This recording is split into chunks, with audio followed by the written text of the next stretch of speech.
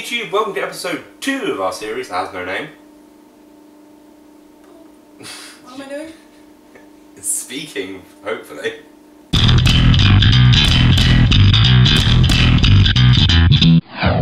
Hey YouTube, welcome to episode 2 of our series about going back to school. Rhee, say something. Uh, yes, this is episode two. The theme of this episode, if you hadn't already guessed it from the title, is our school crushes. How we dealt with having a crush at school and how you probably shouldn't. Yeah.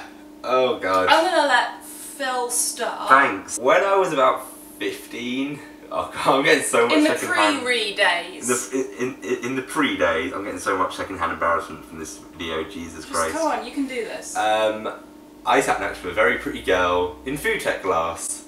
And the reason I took food tech class was to meet pretty girls. And there was a girl who sat like opposite me who had really cool glasses. Like they were kind of nerdy and kind of cute. So I needed to get new glasses because my eyesight was pretty bad.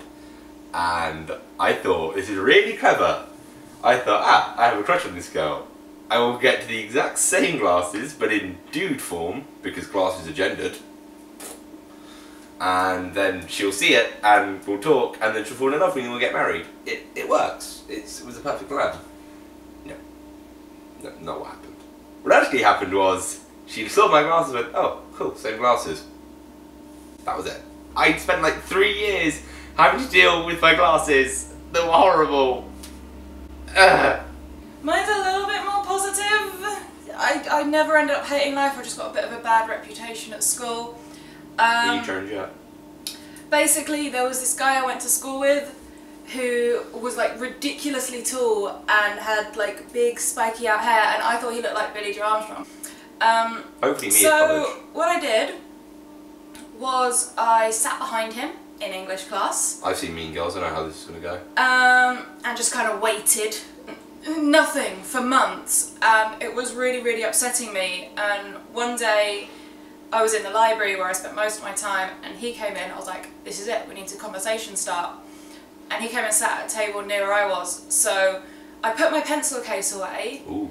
And then went over to him and asked if he had a pencil I could borrow. Um, and he did.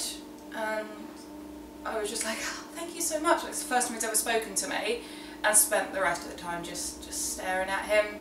On a weekend, me and my friends would all go to Chatham, like our local high street area, and on this particular Gillingham doesn't have a occasion, we were going to the perfume department in Debenhams to sniff their perfumes.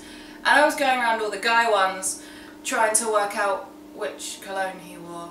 And it turns out some popular girls from our school had spread that around that I'd like to sniff people and can tell what their colognes are. He clearly got wind of this, um, so ignored me for forever, kept kept ignoring me. Yeah, so have you guys there's gotta be better ways of dealing with crushes than what we did. Yeah. Don't, This was not an advice video. Don't do what I did because I had to deal with those glasses for three years. Anyway, thanks YouTube. We'll see you tomorrow. Thanks.